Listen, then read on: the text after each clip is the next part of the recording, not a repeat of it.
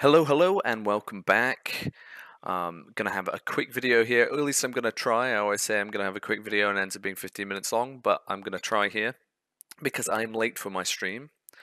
Uh, bringing you some turbo games that I actually managed to record last night. So these are current ones, and I've got two games for you this time. Um, mainly because there's not too much that I need to go in depth with with Turbo.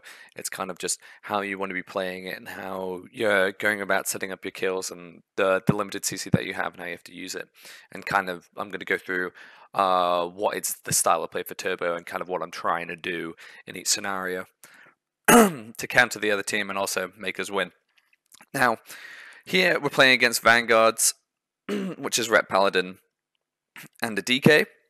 Now, uh, going against this team, see, this is going to be uh, one way that we have to, this is one version of a team which kind of has a different um, play style in Turbo. There's like the the caster team where it's either double caster or one caster and one melee, and you're not going to be hitting shockwaves that often, so you want to be playing Stormbolt. And then there's the melee cleave teams or teams where you're going to be want to playing Shockwave because you're going to be hitting triples and things like that and getting AoE out. This is their AoE version, so we'll be running Stormbolt and we're playing against a Ret Paladin, so we're playing Disarm and Duel, but you'll be playing Disarm and Duel against most melee classes unless it's kind of pointless to do so. And that's against like, say, Ferals and Windwalkers and stuff like that. So, uh, sorry we'll be going in there, and what we're trying to, what we're going to do is we're trying to limit the DK's, uh, the Ret's damage as much as we possibly can, and go on him because uh, Ret's really strong at the moment, and they will train over over you, and they've got really bad cleave, and we can't really split against this team. So I'm looking looking out for wings. I'm looking out for other big cooldowns to disarm and also duel him. I don't want to be doing them both at the same time because it's a waste. I want to do one and then the next if I if I need to. If my shaman's starting to drop low. And I can also use my disarm as a means of stopping him from being able to heal himself with uh, Justicar's Vengeance or um, uh, in, in, other ways like that. And also I can do it to the, the DK if I was on him to stop him from death striking and stuff, etc. So here, um, and also as a precursor to it, in this scenario, because I'm not running Stormbolt, I won't be Stormbolting the healer at all, and I won't be stumbling and kill target. I'm going to be shockwaving um, to relieve pressure and also stop the the the ret from blessing of uh, sanctification for the stun that my Mistweaver is going to go for on their Mistweaver. So I'm getting that that out, and I also have my fear, which is where I want to be like leading. Uh, our big CC chain is boom. Uh, I jump over fear the monk, and then I charge back, shockwave, so the Ret's all locked up and everything, and then the monk go our monk goes over to the other monk, saps into leg sweep. That's our that's our full CC chain. So it's going to be a DR sap into full leg sweep. Now that's not a very long CC chain, but the damage from turbo is where it really excels. Um, with um, with lust and all the warrior cooldowns, then enhancement shamans do a hell of a lot of damage. So that's where turbo really excels, and that's why it's quite a good comp for beginners to play because there's not too much you have to set up. It's not too fiddly. It's like, okay, let's sync up our damage and try and sync up a little bit of CC, and you start really seeing kills. All right, so let's get into this game. Now, so here when I'm playing against Turbo, I'd like to, uh, playing as Turbo, I kind of like to push out. I don't like to hide behind things because I like to be able to get a good fear opener if I can. And also it kind of stops them from being able to push and harass our monk. Now I open up with a really terrible shockwave that doesn't hit a triple because I was being lazy, and I thought, oh, I'll just hit it because it's unholy DK, I'm going to get it. But here we pop all of our damage, and it's such an immense amount of damage that comes out. But uh, and we're running Counter Strike Totem to counteract the the burst from the Ret Paladin. So when he pops his wings, I pop Duel, pop all of our cooldowns, get Lust, Blade Storm, we get Bubble. It's excellent. Getting Bubble on the opener is really, really strong, and now we're just trying to limitate damage, swap onto the DK, and control as much as we possibly can. We can see our um, Monk going in for a Sap Leg Sweep combo here. Um, just to create some more added pressure. It's probably not the best time to do it, but um, because we won't be uh, directly pressuring the ret, but we're going to get some cooldowns out of the DK as well. Now, so there's a lot of damage coming out here, and I'd go for the disarm just to reduce damage further so our shaman does not die here. We see the monk their monk's repositioning to try and maybe get C to get CC on our healer, but he only gets a sap, so he's not going to be able to get the sack leg sweep, uh, the sap leg sweep. And there we get the the the four man the four man uh, shockwave. Well, you only really need a triple, but it's a four man in this one, which resets the cooldown down to 20 seconds, which is really really positive for these melee uh, these melee cleave games because it's three seconds where my shaman can get back up and um, really like it's a huge difference because um, the more of these you land, you're actually going to be say because it reduces the cooldown by about 10 seconds, and if you're only hitting, um, you can hit three in the time it takes you to hit two um, shockwaves if you're like hitting the reset. So you have 20, 20, 20, or 30, 30. So if you think of it that way, you're to get you're to end up if it's a long game, you end up getting way more shockwaves, and they end up sitting 20 plus seconds of stuns, or you end up getting trinkets. And it's really important to do that and make sure that you're you're hitting them. Now we know that we don't have we have damage in I think about 15 seconds again, and we're kind of just controlling the game here, trying to reduce the the Ret's damage and also put as much pressure on as we can, waiting for the shockwave to come back up, and we're also looking to get any CC that we can for the next go onto their Mistweaver. So we get the sap, as you can see on the Gladius into the leg sweep, and this is where the pressure starts coming out. We get the Shockwave on, and we get Monk Bubble and Bop. So, as you can see, we're slowly really getting through all of their cooldowns. That's only two goes that we've had, and uh, we pretty much have everything out of them. So it's going to be sometime soon. We're going to we're going to get them because um, most of their cooldowns are out and it's going to be a long time before Wings comes back up and we should be able to kill before that. And now we're just doing the same thing, staying on the ret because we don't want to go on the DK here because there's no point because this ret has nothing and he's in panic stations big time. We, and uh, we got the shockwave coming up again. We're gonna have Army of the Dead coming out, and we're just going again. We're just limiting damage, making sure that my my teammate doesn't die. Shaman starts dropping low, so we drop the bubble onto him, and that's all our only really big things. There, Wings comes out again, go for the shockwave on top of it, and then uh, actually he didn't Wings, my bad. He um um when cooldown's coming out, just shockwave on top of it, and we get the trinket out of the the monk there. His adaptation with the sap leg sweep, and I my fear is just coming up. I was tempted to fear him, but I didn't. Um, but now I know that he has no adaptation for a minute. My fear's up, and the DR off the sap's coming off in 5 seconds. Their monk is also getting really low with mana, and we have we've just lusted and got the avatar and everything. Pressure's on, Wings coming out. He's kiting during his uh, um, offensive CDs, which he doesn't want to do. And we have I've got just use my duel and I've got a disarm coming out if I want to use it. Now here I'm still thinking about okay, I need to be getting this stun on when I can, but we also want to make it create a nice bit of pressure. Now see here, I see, okay, I've noticed that the, the monk's low in mana. I know that he doesn't have his adaptation, and I know that my fear is up. I see him trying to go for a drink, so I'm like, I'm going to fear him big time. So I go for the stun, I leap over, do the fear, and that. the monk sees me go for that, sees him sit the full fear because his adaptation's down, goes for the sap after. I get back onto this uh, into the ret here, and we start tipping loads of damage in it. It's outside of cooldowns, but our CC chain and our pressure, and the fact that they have no healing cooldowns and no defensive cooldowns means that he's going to flop. And uh, we we manage to secure the kill here even before we need to do the leg sweep. Now, okay. So there, what we're, to go back and kind of recap what, what we were doing was peeling ret damage because it's really strong, using our, our, our duels and our disarms crucially to do that, or our shaman may have flopped. We're shockwaving whenever we could, trying to make it so it was uh, resetting the cooldowns and using it to kind of peel all the offensive cooldowns. We were syncing up our burst with our shaman. This communication is really key, and letting him know when's your lust up, when have you got this, does he get procs, and making sure that after as we shockwave, then we put the put the blade on, and we only be using the sharpened blade in points where we're creating a whole load of pressure. And then to the side, we just have the CC that we're looking for. So we have uh, our, our, we leap over, we fear, we get the sap, we get the leg sweep, And if you wanted to, and your shaman was uh, wanted to do it, or was in a good position, or I say he'd been kited a little bit, he can try and get a hex. It's not that crucial because it's a lot of wasted time casting the hex, and it can be kicked, and uh, you're just not doing damage at the time. But if you get the kicks and people are riding a healer, then it's really good. But in that scenario, it wasn't happening.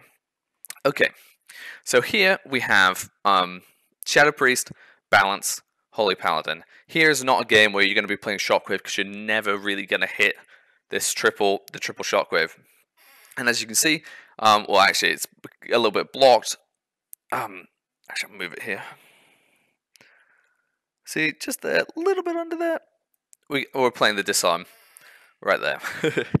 now, I played disarm here because for um, the majority of the time you'll, you'll see paladins playing melee wings.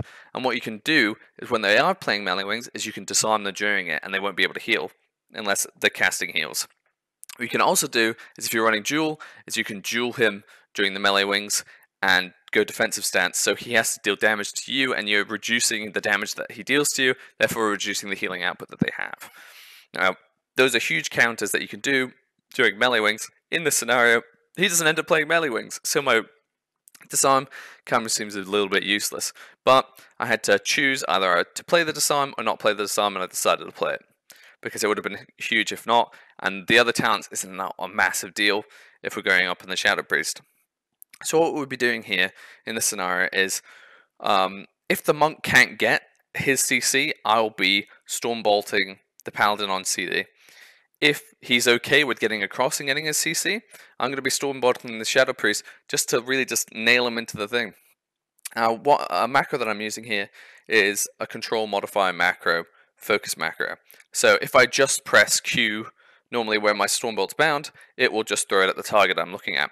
If I press Control Q and I have Control bound to my mouse, it will throw it at my focus target. So the Paladin will never see me target him for the Stormbolt and won't be able to like LoS in and out, and he, won't know when it's coming unless I run towards him. So in the scenario, most of the time you're going to see me um, storming, uh, stormbolting the Shadow Priest because uh, I don't want to do it on the Paladin just randomly, and then it's going to be a DR'd leg sweep from uh, from the monk. And we're going the Shadow Priest here, and as we said before, we're keeping the VTs off that is a crucial thing. Keeping VTs off, pressuring Shadow Priest, getting his dispersion, and just keeping on that pressure and trying to get some CC and kicks onto the Druid on big full moons and stuff like that to try and reduce our damage. But if we ride the Shadow Priest and we do a really good job at limiting him, it's going to be difficult for him to get a lot of pressure on us. He's also the the weakest target for us to go because the we can have the the balance can kite us a lot, and uh, the balance can kite and he can go bear. Now see there, I see our monk going for the sap leg sweep combo. I was looking and shaping up to fear, but he said, I'm going in for the sap and the leg sweep. I decided not to fear and hold it because putting a DR on my fear, especially when it was just off a sap, um, when it's on 1 minute and 30 second cooldown, is really bad to do. Now we pop our lust and we get dispersion and bop, which is great. I'm, I swap immediately off to the Paladin to keep pressure on him, and uh, he pop he ends up popping his wings here. I disarm him randomly, and it's like okay, it doesn't mean anything because it turns out this is when I find out what he's playing. So we already have a bop, we have dispersion, we have pally wings, and uh, we get a, a nice little stun there, and we keep the pressure on, making sure that we're kicking these VTs. We're taking quite a bit of damage because of the swap, because we couldn't uh, uh, control the Shadow Priest for too long, and also the Boom is going to be doing a lot of damage with his full moons and stuff like that because we're not on him, not trying to control that. We're focusing on the Shadow Priest big time. Now it ends up starting to be like a like a damage battle, but that's okay if you're really confident with reducing the Shadow Priest damage and also with the amount of cooldowns that we already have out of the Paladin and the Shadow Priest. And even here we see that the Resto Druid is starting to off heal. That's him stopping his damage. So we have Shaman's low, I'm at 50%, and with him off healing, there's no more pressure going into us, which is going to allow us to get back into the game. So we get the second bop goes on. So both bops exhausted, wings down, and uh, dispersion also gone and then I get DR hodged because of uh, the priest is also playing uh, Mind Bomb. Now, I'd swap back onto the Shadow Priest because the bop's been purged. This choice by the Paladin to play double bop, um, double sack, I'm pretty sure is the talent, is a really bad idea against an enhancement shaman because the bop is going to be purged really quickly. He probably should have played melee wings, but then again, it would have been really difficult for him to upkeep against the amount of damage that we have with melee wings, especially because I would have been able to disarm him. Keep pressure, and we have um, we have uh, the counter strike down to reduce damage when our shaman drops so low, but we have a lot of stack damage going out into the pally. I swap to him during it to create even more pressure, and we end up getting bubble. Now, that's everything pretty much out of this paladin. The shaman doesn't have much. His dispersion is probably going to be coming up in it, coming up soon. You see the balance druids casting cyclones to peel the damage off the pally. He's in full defense mode, so he's not being able to tip as much damage as he was into us. And we swap right back onto that Shadow Priest. I stun him to stop him from getting more VTs out. And we just keep grinding out this, keeping trying to keep the VTs off as best we can, kicking them, reflecting them if they're on me and we keep going. Actually, he's just not getting no healing from it. His his tankiness is poor, and we kind of just go at it. And we know that the so Lust and Battlecry match up really similar cooldowns, unless I'm playing um, Pain Train to give crit to the Shaman as a means of getting a bit more damage out, because then it's a 45 seconds, and I'm gonna have to hold it a couple of seconds, or use it to get to confirm a kill but most of the time it's better to do it with Lust because it gives them a lot with uh, increased haste buff. here I pop my avatar and my my battle cry because they, they come up together and start tipping some serious damage. And I know that this paladin has nothing to really put into this priest, so he's going to start taking so much damage. We have um all, all the bashes and stuff coming off from the druid, getting all the stuns out, and we get dispersion again. Now, now at this point, he is in so much trouble, and the amount of pressure that we got out of there was because we have this sap leg sweep combo off by a druid. Oh no, a druid, a monk, sorry. Because this paladin was playing so close to him. Which is a really stupid mistake by him, because he knows he doesn't have bubble. He doesn't have he doesn't have trinket. He has nothing. So why would he play so close? He probably should have played in this room to the side, trying to peek out, or played across here instead of right next to our our uh, monk. I get cycling there. Unfortunately, I didn't reflect it, or we would have killed just then, probably. Get the sharpened blade out, kick the VT, execute. There's nothing left for the Paladin to do. Got through all of the cooldowns. It was delaying the inevitable. They're, they went into full peel mode, tried their best to do it. They, they got close to getting us because we had to leave that balance druid out there, and it's going to be really scary at times. But um, you have to also watch. It's like you can use, say, if I have my fear and, I, and we're taking so much damage and I need to peel, I can use that fear to peel the balance druid and uh, to peel the shadow priest off as well, and we kind of just let the monk pick us back up. So there we kind of see that other style of play where you're not going for these like big shock waves or anything like that. You just you can use your Stormbolt to peel. You can use it to lock down your your kill target, and it's uh, in this scenario it's really important for that monk to get that CC. With other healers in Turbo, you can also get that CC with a Paladin Hodging. So a second Hodge, he could play Repent if he wanted to, but it's not great. So he'd be Hodging, so it wouldn't be as long of a uh, a CC chain, but you can have, go Fear into Hodge or Hodge into Fear, or Hodge into Hex. There's uh, other ways that you can do it. You could go Stormbolt into Fear if you're playing with a Disc Priest. With you could go um, Bash into Cyclones with a with an Ardruid. Um, you wouldn't really want to play with an, a uh, Resto Shaman, even though like they used to play it before because you could get double Wind Fury totems up from it, but the mobility kind of lacks. So um, I hope that was helpful. I said it was going to be a quick video, but it really wasn't because I went over two things. Um, if you like it, uh, give it a like. Um, if you want to see more, subscribe. I'm going to try and get out one at least every day, but um, forgive me if I miss one. Uh, follow me on Twitter um, and uh, come watch my live streams. They're going to be every night, um, and you can ask me any questions in there. Uh, thanks a lot for watching. Uh, see you next time. Hello there, and thanks for watching my video. Make sure to subscribe if you like what you see, and like if you liked it, dislike if you don't. Please comment to uh, let me know what you want to see in the future, and uh, make sure to uh, come tune in and watch me on Twitch. I'm live from 12 a.m. or 12 midnight uh, GMT for normally about six hours, playing a whole bunch of games. Hopefully, I'll see you there.